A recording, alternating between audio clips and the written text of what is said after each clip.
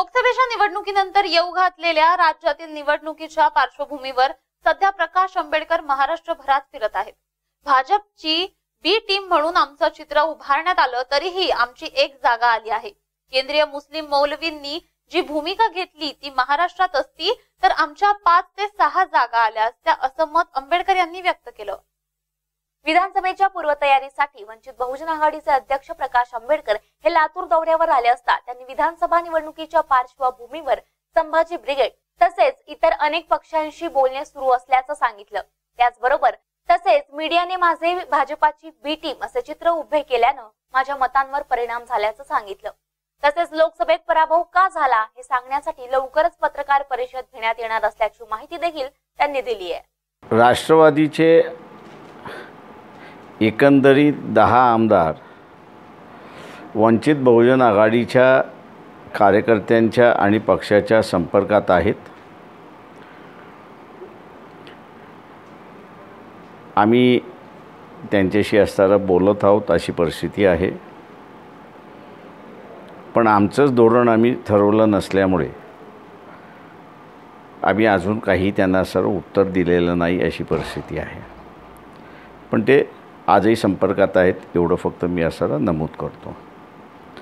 लोकसभेच्या निवडणुका बेसिकली आम्ही काँग्रेसबरोबर समझोता करण्याच्या ह्याच्यामध्ये होतो.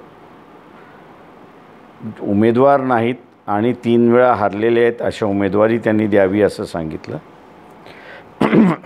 पण दुर्दैवाने काँग्रेसने ते काय ऐकलं नाही आणि पूर्णपणे काँग्रेसचं पानिपत झालं. या नि लोकसभेच्या निवडणुकीमध्ये एवढं दिसण्यात आलेलं आहे की काँग्रेसकडे जे काही मतदान झाले त्या मतदानापैकी ऐंशी टक्के मतदान हे मुसलमानांचं आहे. काँग्रेसला एन सी पीला मतदान करा. त्यांच्या उमेदवारांची नावं घेऊन त्यांनी असं त्या ठिकाणी सांगितली. त्यामुळे मशिदीमधून एलान झाल्यामुळे मुस्लिम समाजाचा नाईलाज झाला आणि तो काँग्रेसकडे गेला किंवा एन सी पीकडे गेला अशी परिस्थिती आहे.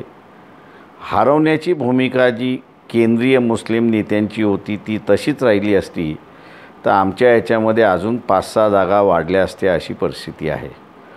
तेव्हा निवडणुकीच्या निकाला निकालाच्या संदर्भातला आम्ही असणारा स समाधानी आहोत पण ज्या पद्धतीने असणाऱ्या ह्या निवडणुका झालेल्या आहेत आणि निकाल लागलेले आहेत त्या संदर्भातलं मी असणारं सात तारखेला पत्रकार परिषद घेऊन मी त्या ठिकाणी माझं मत मांडणार आहे.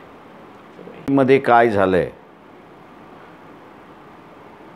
तो भाग मी असणारा सात तारखेला मांडणार आहे आणि त्यामध्येच माझ्या हारण्याची जी कारणं आहेत तीसुद्धा तिथे नमूद केल्या जातील.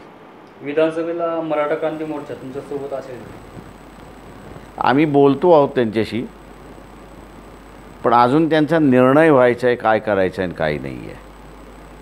त्याच्यामुळे त्यांनी असा निर्णय अधिक गतीने घेतला तर मला वाटतं कोण आघाडीबरोबर कोण आघाडीबरोबर आहेत याचा आम्हाला सुद्धा स्पष्ट त्या ठिकाणी येता येईल. कारण की मी लोकसभेच्या निवडणुकीच्या वेळेसही सर्व संभाजी ब्रिगेड असतील वेगवेगळे असतील या सगळ्यांशी माझं बोलणं झालं होतं. त्यांनीही निवडणुका लढवाव्यात. वंचित बहुजन आघाडीबरोबर युती काढायची असेल तर मी त्यांनाही ऑफर दिली होती. पण ते काहीच निर्णय घेत नाही अशी असणारी परिस्थिती आहे. त्याच्यामुळे त्याच्यामुळे पुढं काय आमचं घोडं चालत नाही अशी परिस्थिती तुमची होणारी युती मनसे संभाजी ब्रिगेड. नाही नाही, आम्ही अजून निर्णय घेतलेला नाही त्या सगळ्या याच्यामध्ये. कोणाकोणाची युती असेल ती. आम्ही लवकरच बैठक घेऊन हा मुद्दासुद्धा स्पष्टीकरण करू त्या ठिकाणी.